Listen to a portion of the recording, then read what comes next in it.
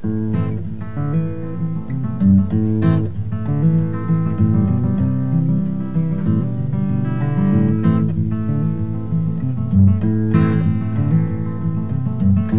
on the walls, they don't mean a damn thing to me right now. Did he really come, or did we just imagine him once again?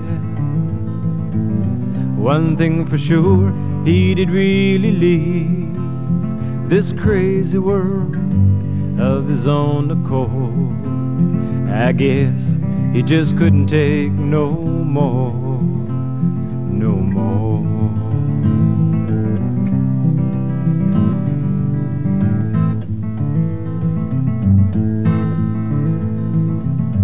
So many books of knowledge written and left behind, misunderstood at the time.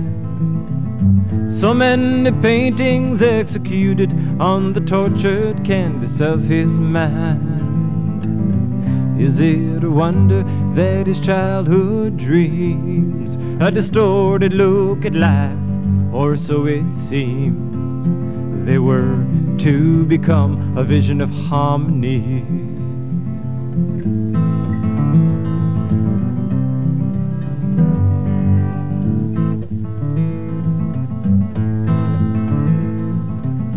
And the bearded, white haired old man sitting under the lamppost in the rain. The only one at night who dares to look out ahead and face it without shame. Came face to face with a young man, told him stories in a vision of a faraway land. The young man, strong of will, he did listen well to what the old man said.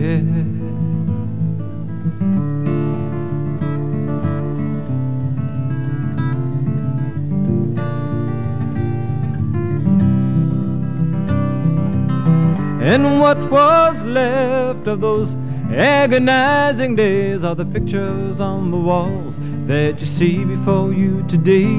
They are the sign that it really passed this way. They are the symbols of what he tried to say. They are the sign. They are the sign. They are the sign. They are the sign. They are the sign.